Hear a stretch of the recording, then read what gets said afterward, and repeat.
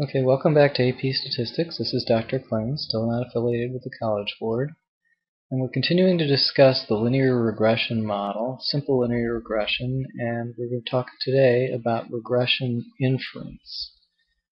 Okay, so if we have a graph with a, a y variable and an x variable, and we have some points, and we have a line,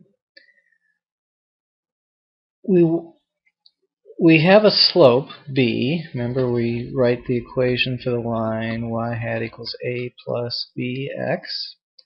And what we what we're trying to do now is assess the statistical significance of the b, and that is related to this issue of how closely the dots fit the line. If the dots are very far from the line, even if it's a steep slope, it may not be statistically significant. On the other hand, if the dots all lie close to the line, even if it's a very shallow slope, it could be statistically significant. That is, we um, have confidence that the difference from zero is not due to chance if we've got all our assumptions lined up, which is a, another issue which I'll get into at some point. Okay, so what we do is we measure the statistical significance of B. And we start out that starts out by taking the ratio of b to the standard error of b. Standard error of b. I guess I'll write it like this. I'm not sure what the typical notation is for that. Okay, so the the formula for the standard error of b is equal to, I think, it's the square root of s squared e, which is the sum of the squared values of these residuals, which makes sense. We're trying to measure how far the dots are from the line. So when these dots are really far from the line, this will be large. But we scale it by s squared of x. So um, if we have a relatively narrow variation of x and a huge variation in the uh, in the error terms, in the uh, residuals, then we get a, uh, a very high standard error of B. So standard error of B is high when the uh, squared squared residuals are high relative to the variation in our explanatory variable. Okay, so the important thing is that it, and that's just a way of measuring how far these the points are from the line. Okay, this ratio of the coefficient to the standard error, it will have a t-distribution. And so a p-value,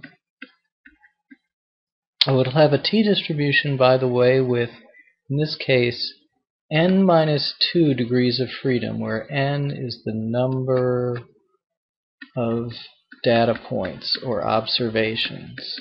I'll refer to this as the number of observations usually, but it's the number of number of points on the graph. So if you have um, a lot of data points, then you have more degrees of freedom. If you have fewer, then you have fewer degrees of freedom. Okay, so the p-value comes from taking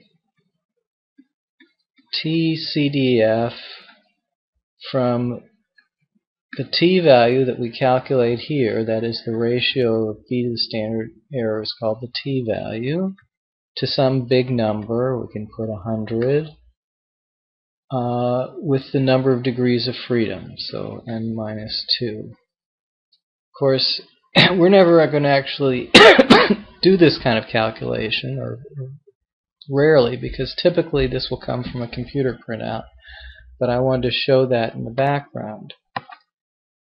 And so when we get a low p-value,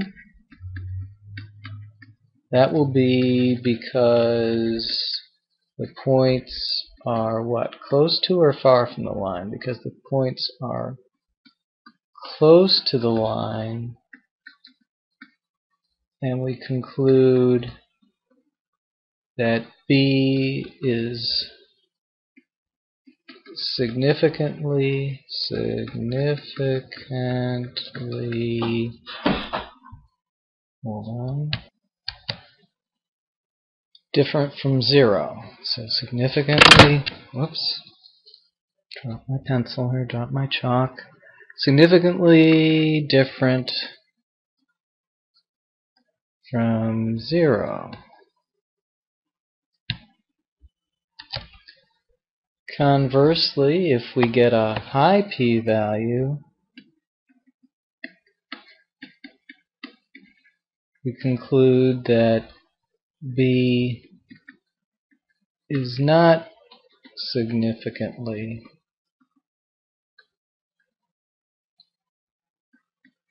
different from 0. Okay, the other thing we can do is we can calculate a confidence interval.